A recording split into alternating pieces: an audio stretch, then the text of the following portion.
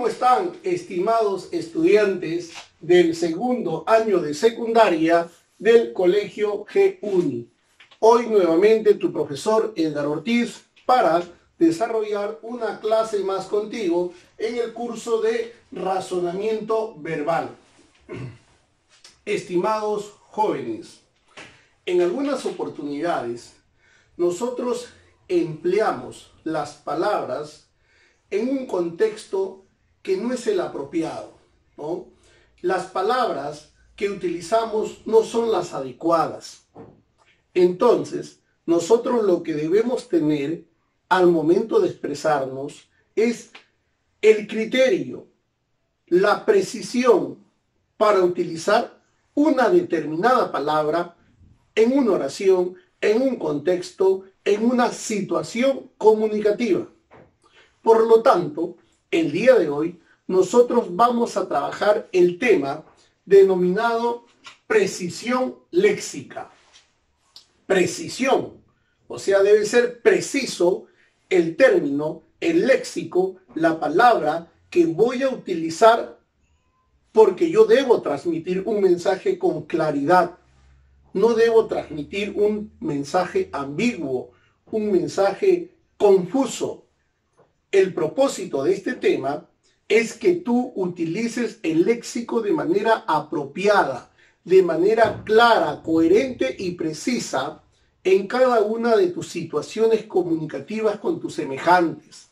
Entonces es muy importante. Y cuando veamos el desarrollo, vas a ver que efectivamente muchas de estas imprecisiones léxicas tú la utilizas a diario. Así es que el día de hoy vamos a comenzar entonces con este tema muy importante. Tenemos acá, dice precisión léxica. ¿Qué es la precisión léxica? Veamos. Dice acá, la precisión léxica viene a ser el uso adecuado, ojo, el uso adecuado, el uso correcto del significado de una palabra, ¿ya?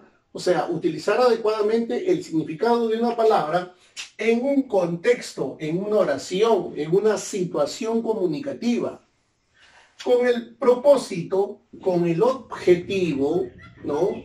Que el mensaje pueda ser comprendido. Ojo, que el mensaje pueda ser comprendido. Ese es el propósito que nosotros debemos tener en cada una de las expresiones que utilizamos a diario, ¿ok? A diario. Pero sin embargo, como te decía, nosotros cometemos muchas imprecisiones. Y sobre esto vamos a trabajar. Aquí tengo algunos ejemplos.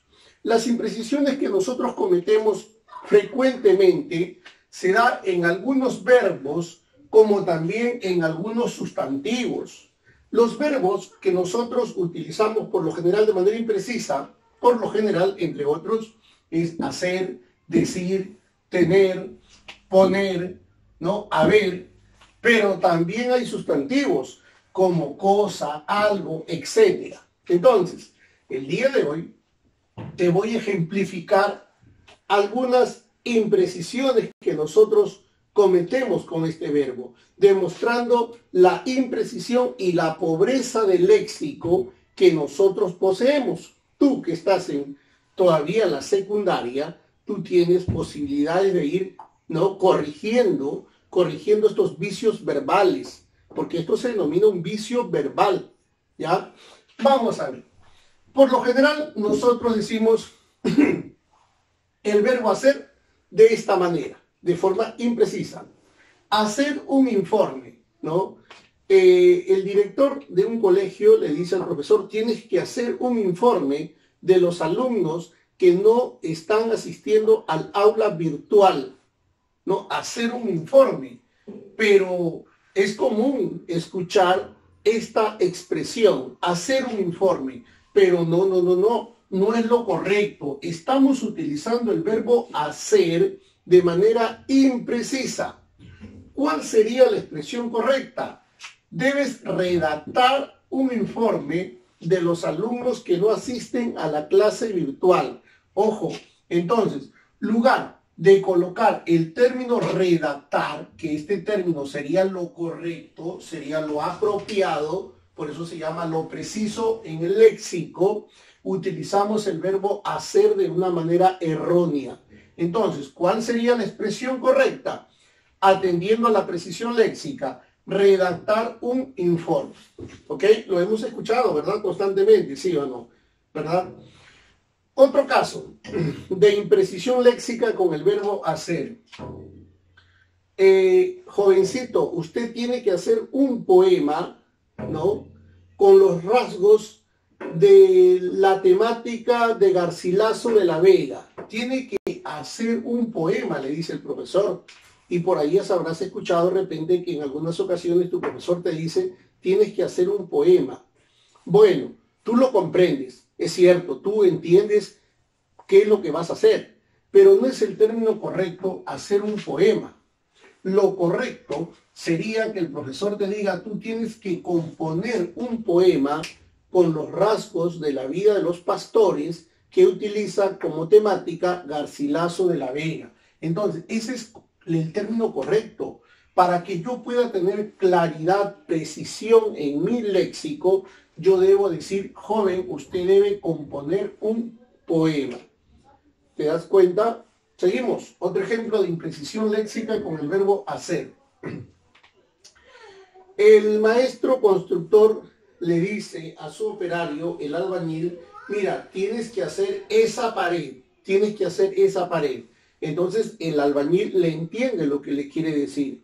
Sí se puede entender, es correcto, todas, todas estas expresiones la podemos entender, pero no es lo correcto, no es la forma correcta.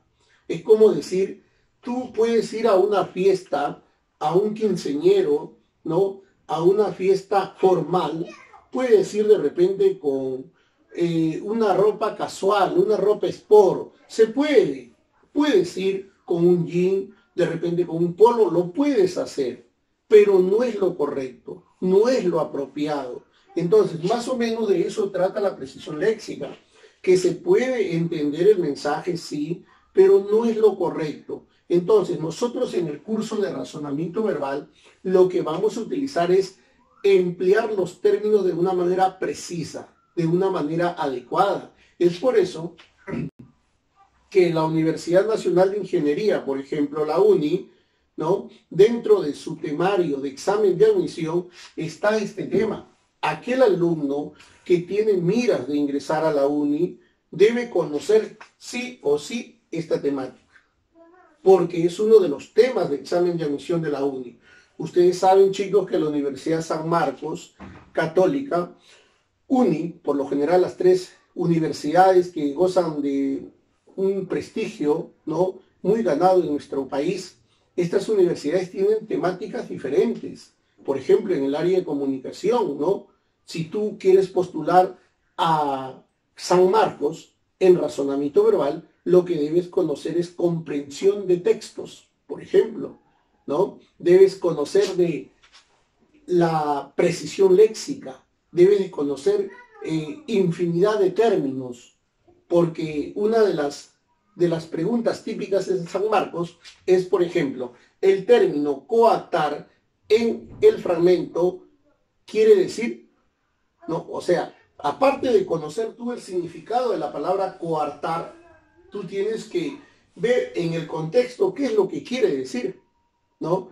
Porque yo puedo decir viejo, viejo es anciano, pero según el contexto, yo no puedo de repente hablar de un anciano porque está hablando de un objeto. ¿Te das cuenta? Entonces tú tienes que saber el significado de la palabra en un contexto. Si tú vas a católica, por ejemplo, también debes saber de precisión léxica, debes saber de los términos adecuados y ni qué decir en la uni. Entonces, cada universidad tiene una temática diferenciada, ¿ya? Por eso, tú, aparte, muy aparte de que estés pensando en el ingreso futuro a una universidad, lo que tú debes pensar es y preocuparte en hablar de manera apropiada, ¿ya? Apropiada. ¿Listo? Bien. Entonces, si el maestro le dice al operario, tienes que hacer esa pared, el operario lo entiende, pero no es lo correcto. Lo correcto sería, tienes que construir esa pared.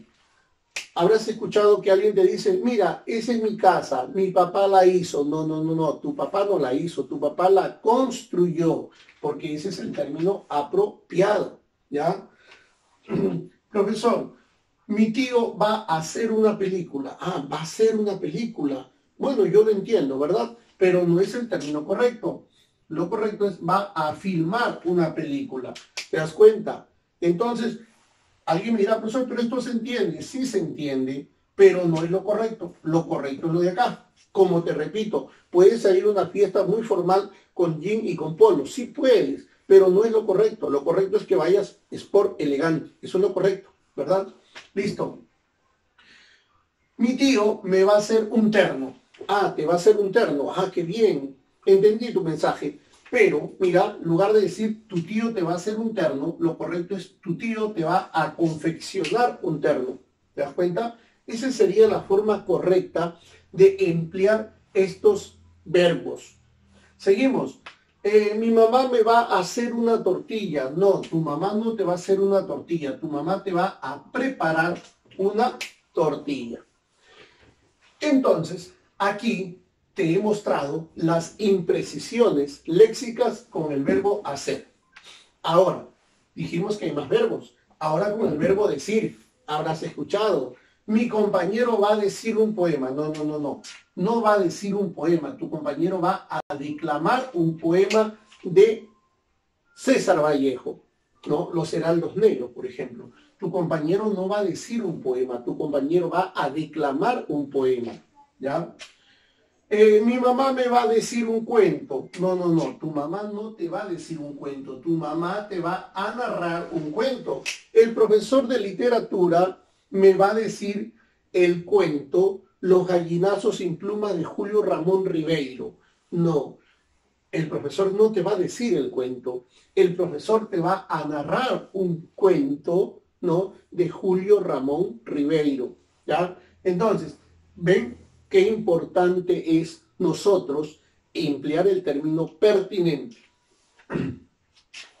Mi amiga dice que vaya a visitarla porque me va a decir un secreto. No, no, no. Si es un secreto, es algo oculto. Entonces, tu amiga te va a revelar un secreto, te va a mostrar algo que estaba oculto, escondido, porque es secreto y el secreto, la característica principal es que es oculto.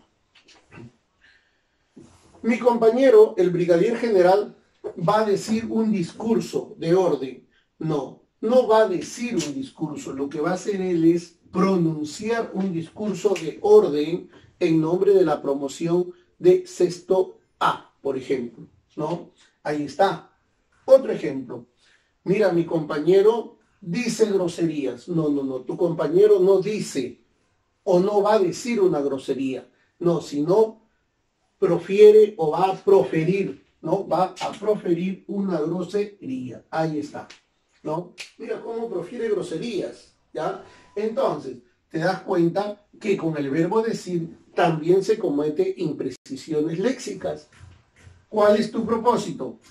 que a partir de ahora tú se utilices los términos correctos. Profesor, mire mi chompa, me la hizo mi mamá. No, te la tejió tu mamá. Profesor, mire mi casa, la hizo mi papá. No, la construyó tu papá. ¿Te das cuenta? ¿Ya? El verbo tener es otro de los verbos en la cual incurrimos en esta impresión léxica. Y dice, tener una enfermedad. La enfermedad, si bien es cierto, yo te entiendo lo que es tener, pero lo correcto es padecer una enfermedad. ¿ya?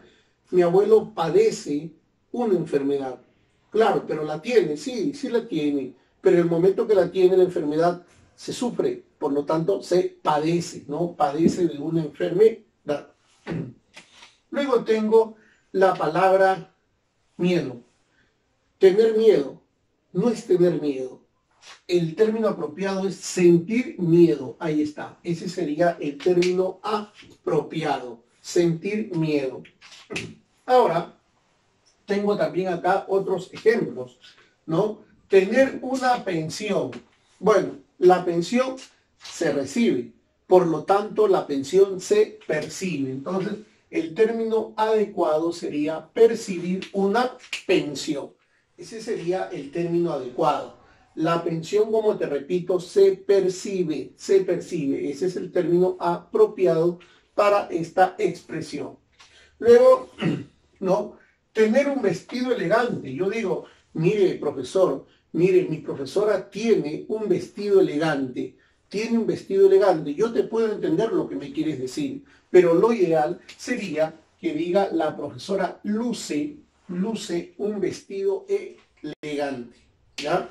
Entonces, vamos trabajando la imprecisión, ¿no? Con el verbo hacer y sus formas correctas. Imprecisión del forma de decir con sus formas correctas. Imprecisión del verbo tener con sus formas correctas. Lo que está de rojo es la expresión correcta a utilizar. Pero acá hay dos verbos más. Por ejemplo, el verbo poner. Uy, ¿quién no habrá escuchado esto? Ahora que estamos en tiempo de pandemia, se utiliza este término ¿no?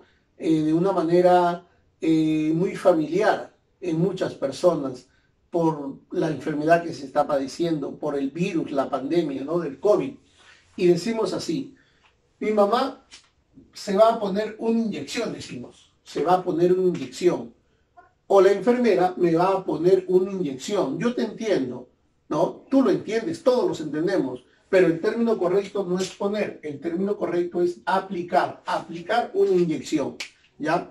Eso es lo correcto. Seguimos. Si quieres, ¿no? Hacer una determinada receta, por ejemplo, así, debes poner un litro de agua en la olla, debes poner un litro de agua. Bueno, debo poner, debo echar un litro de agua, podemos entendernos, pero el término correcto es verter debes verter un litro de agua. Ahí está. Seguimos. Eh, debes ponerle queso rallado al tallarín. Debes poner queso rallado al tallarín. Sí, sí lo entiendo, profesor. Mi mamá va a cocinar, pues va a hacer un tallarín y yo, este, unos tallarines rojos, por decirte, ¿no? Y yo le voy a poner queso rallado. Sí te puedo comprender, pero lo correcto sería le va a esparcir, le va a esparcir queso rayado, le va a esparcir, porque tú lo que haces es así, ¿no? No lo pones, tú lo esparces por todo, ¿no? El, plato, ¿verdad? Entonces lo, lo correcto sería esparcir queso rayado, ¿ya? Muy bien. Entonces, como ustedes verán, chicos, estamos aquí trabajando, ¿no? Este tema muy importante que sin lugar a dudas una vez que hayamos terminado esta clase, creo yo que va a ser de mucho provecho para ti, porque tú vas a aprender a hablar correctamente, sin decirte que también es un tema que ingresa en la evaluación. No te olvides suscribirte a mi canal para que te lleguen todos los videos que yo cuelgo semana a semana. Y antes que te pasen el enlace, ya tú lo tengas allí y puedas verlo porque esto te va a ayudar, joven, no solamente para este año. Los videos que nosotros te estamos dando te va a servir por siempre, ¿no? Te va a ayudar a refrescar los ejercicios, porque el razonamiento verbal es único. Lo que van incrementando viene a ser la intensidad de los ejercicios. Entonces, es un tema muy importante el que el día de hoy estamos desarrollando, no solamente para un examen de admisión, sino más importante para tu vida diaria, para tu expresión cotidiana con tus semejantes, para que digan, ay, mira, qué bonito, ¿no? Qué bonito habla mi amigo, mira esa expresividad, mira esas palabras apropiadas, ¿no? Es que han escuchado la clase de precisión léxica. Entonces es importante, suscríbete a mi canal, dale like, dale me gusta, te van a recibir, vas a recibir todas las notificaciones, ¿ok? Y es importante también porque esto te va a ayudar a desarrollar tu separata. Y tú sabes que el examen que ya se avecina, ¿no? Viene de las separatas que yo desarrollo. Así es que por ahí que mezclo algunas preguntas como para que no sea tan sencillo, pero ahí está el examen. Yo no te tomo de cosas que no haya hecho, no, de cosas que hemos desarrollado, ¿no? Profesor dijo cosas, ¿te das cuenta? Ah, de repente no te percibiste de eso que dije cosas. ¿Por qué? Porque es algo común decir. Pero lo he dicho adrede. lo he dicho adrede, con la intención de que tú aprendas algo nuevo, ¿no? De cosas que no haya desarrollado, dije, ¿no? Lo he dicho adrede para que tú te des cuenta que en ese hablar cotidiano, que tú me entendiste, también se ha cometido una imprecisión léxica.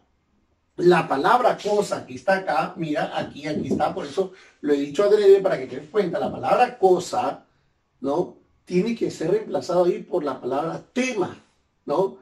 De temas que usted está desarrollando, no de cosas que usted está desarrollando, ¿te das cuenta? Entonces, es común a nivel de eh, amistades, de familia, del colegio, de instituciones públicas, privadas, de todo ente, ¿no?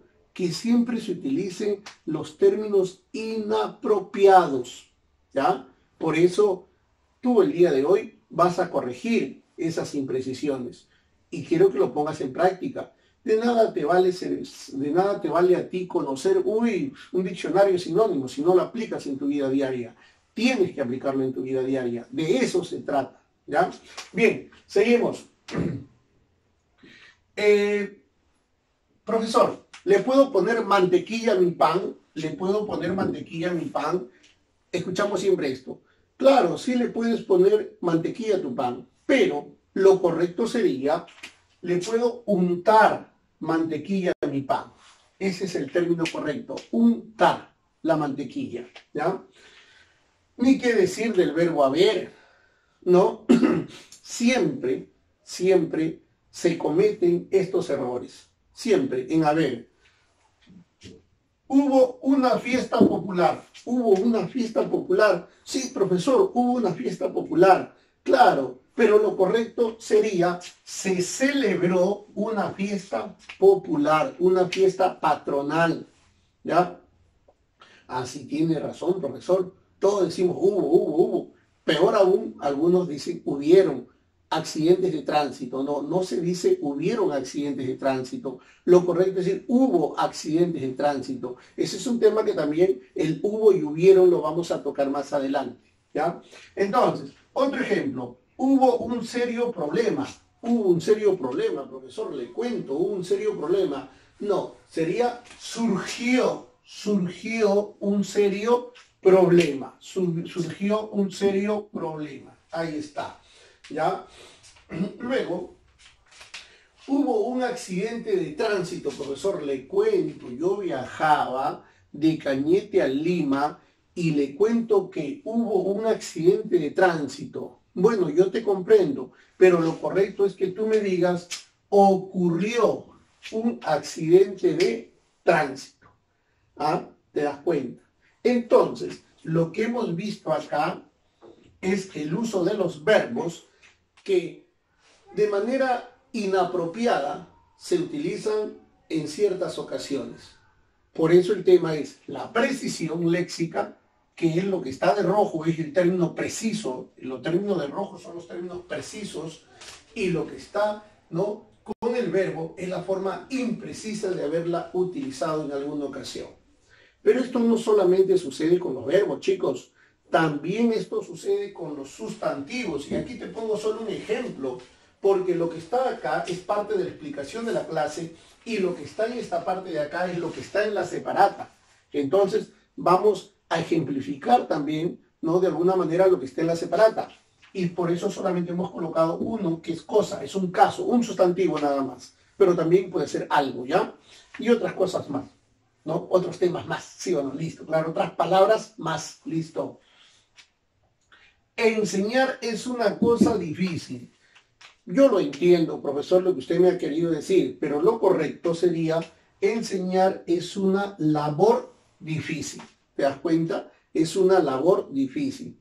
Ah, sí, profesor. Pero si usted me decía que enseñar es una cosa difícil, yo lo entendía. Sí, pero al, decirme usted que es una labor difícil, ah, claro, aquí cambia ya pues la palabra, ¿no? Es más precisa, ¿ok?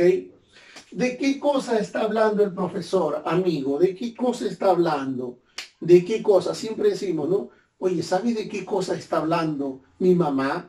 ¿De qué cosa? Lo correcto es decir, ¿sabes de qué tema, de qué tema está hablando mi mamá?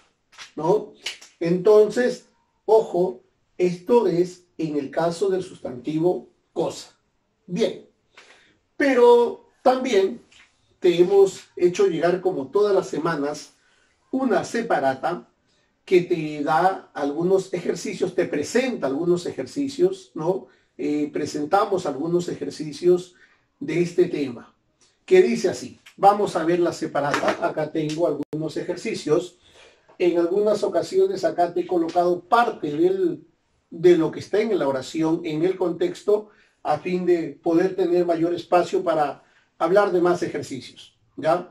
Pero vamos a leer lo que está también en la separata con las alternativas, porque en la separata, por ejemplo, dice precisión léxica, ¿no? Elija la alternativa que al sustituir la palabra subrayada precise mejor el sentido del texto, precise mejor el sentido del texto. Y la primera oración dice, Daniel, dame una parte de aquel delicioso pastel. Mira lo que dice aquí, ¿ah? Ojo, Daniel, dame una parte de aquel delicioso pastel. Ah, profesor, sí lo entiendo, sí lo comprendo. Yo a mi amigo Daniel que me dé una parte de ese delicioso pastel. Claro, sí lo entendemos, pero recuerda que la idea es aplicar un término que sea el adecuado, que sea el término preciso. Entonces, vamos a reemplazar la palabra parte por la palabra adecuada, por la palabra correcta, aquella que debe precisar mejor esa, esa oración. Tengo la palabra lonja, que es una, ¿no? es una porción de cerdo, ¿no? fracción, tengo la palabra tajada, tengo la palabra rodaja y tengo la palabra pieza. Si nosotros nos damos cuenta, el término apropiado, si estamos hablando de pastel, sería tajada. Entonces, la palabra correcta que reemplace aparte, aquí sería la palabra tajada. Ahora sí, ¿cómo diría la oración? Daniel, dame una tajada de aquel delicioso pastel ah, profesor, ahora sí tiene mayor precisión, ¿no? Ahora sí se entiende mejor. Claro, ahora sí. Esa es la oración número uno. La oración número dos dice, el médico atendió a todos los heridos del accidente. El médico atendió a todos los heridos del accidente. Siempre nosotros solemos usar la palabra y te atendió el médico, ¿ya? Y nosotros entendemos lo que me ha querido decir esta persona. Pero lo correcto no es la palabra atendió, no es lo correcto la palabra atendió. Por ejemplo, en la A dice amparó, en la B mitigó, que es calmó, en la, en la siguiente palabra dice recurrió, asistió y acudió. De todas estas palabras, la correcta, la precisa, sería asistió. Entonces, el médico asistió, asistió, ahí está, el médico asistió a todos los heridos del accidente. Eso sería lo correcto. El médico asistió a todos los heridos. ¿Ya? Bien, seguimos. Luego dice, ellos decidieron, como parte de la investigación, sacar el cuerpo para analizar las causas de su deceso. Mira, ellos decidieron como parte de la investigación sacar el cuerpo para analizar la causa de su deceso. Bueno, la palabra deceso lo habíamos visto en una ocasión anterior que significa muerte, fallecimiento. Entonces ellos han decidido, han decidido sacar. Bueno, yo lo entiendo, el cuerpo está enterrado y han querido sacarlo. Pero no es la palabra correcta. La palabra correcta es la que yo voy a mencionar. Bueno, dentro de ellos tengo las alternativas que dice desenterrar, limpiar, observar, excavar y exhumar. El término correcto es exhumar. Ex, entonces, sacar lo voy a reemplazar acá por el término ex, que es sacar, humar, que humus es una voz latina que significa tierra. Exhumar exhumar es sinónimo de desenterrar. ¿ya? Entonces, sacar es sinónimo de exhumar. Bien. Luego dice, el conductor del automóvil bajó la velocidad tres puntos, que son puntos suspensivos, solo son tres, los puntos suspensivos no son cuatro, algunos estilan puntos suspensivos, comienza, no, los puntos suspensivos solo son uno, dos, tres, nada más. Cuatro ya no es puntos suspensivos, es una línea punteada. Entonces, el conductor del automóvil bajó la velocidad ante la presencia de la policía motorizada. Bueno, yo lo entiendo, ¿no? Mi papá va conduciendo su camioneta y ha bajado la velocidad. Sí lo entiendo. Ante la presencia de la policía motorizada ha bajado. Pero el término correcto no sería, no sería bajar, ¿ya? El término correcto, ojo, el término correcto sería disminuir, disminuir, ¿ya? Eso es lo correcto. Entonces, ¿qué dice aquí? El conductor del automóvil, lo reemplazo, disminuyó la velocidad ante la presencia de la policía motorizada, porque tengo la A descendió, tengo atenuó, aminoró, amainó. Amainar, disminuir algo, ¿no? Eh, lo contrario a reciar, ¿no? Eh, aminoró, aminorar, disminuir la cantidad, por ejemplo, ¿no? Etcétera. Pero el término correcto aquí es disminuyó. Entonces, bajo lo reemplazo por la palabra disminuyó. Ahí está. Ahí está, jóvenes. ¿Te das cuenta? Ahora lo puedes entender mejor. Luego, en un grupo político hay muchos partidarios jóvenes. Mira, si está hablando de un grupo político, de un partido político, aquí no sería correcto decir hay, lo correcto decía, sería, perdón, decir militan, militan. Entonces, de ahí sería militan. Habrás escuchado en los noticieros que dicen los militantes del partido Acción Popular, por ejemplo, ¿no? Los militantes, o sea, los que integran, los que forman parte de ese partido político muchos partidarios, bueno, en el caso de Acción Popular serían los correligionarios, así se hacen llamar ellos, ¿no? Pero aquí, en eh, las alternativas que te presento, acompaña a la B militan la palabra adeptos, es que militantes, no, hay muchos partidarios eh, que son militantes, que es lo mismo que decir adeptos. Entonces, el término correcto, ¿no? que voy a reemplazar sería adeptos, partidarios, militantes. Pero como aquí ya digo, militan, sería no adeptos, correligionarios. ¿ya? Continuamos. Saludar a las personas mayores es una cosa, es una cosa que pocos jóvenes practican. Es una cosa, pero yo lo entiendo, profesor. ¿Qué quiere decir una cosa?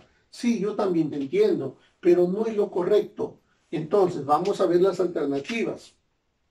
Costumbre, virtud, bondad, anuencia, cordialidad.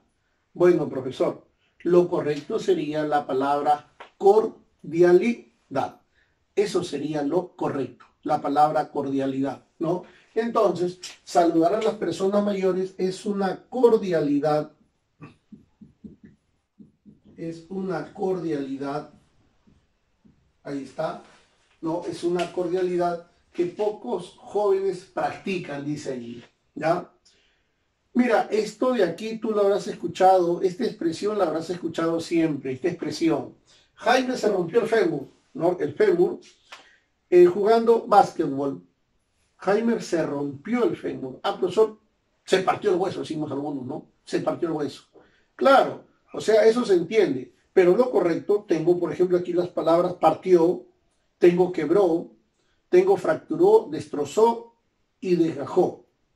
Si bien es cierto, siempre utilizamos rompió, partió, quebró, lo correcto sería fracturó. Ese sería el término correcto. De rompió sería fracturó. Ahí está. Se fracturó el fémur. Bueno, tú sabes por cultura general que el fémur es el hueso más largo que tiene el ser humano, ¿no? En el muslo, ¿verdad? ¿Sí o no? Eso ya tú lo sabes. Bien, seguimos.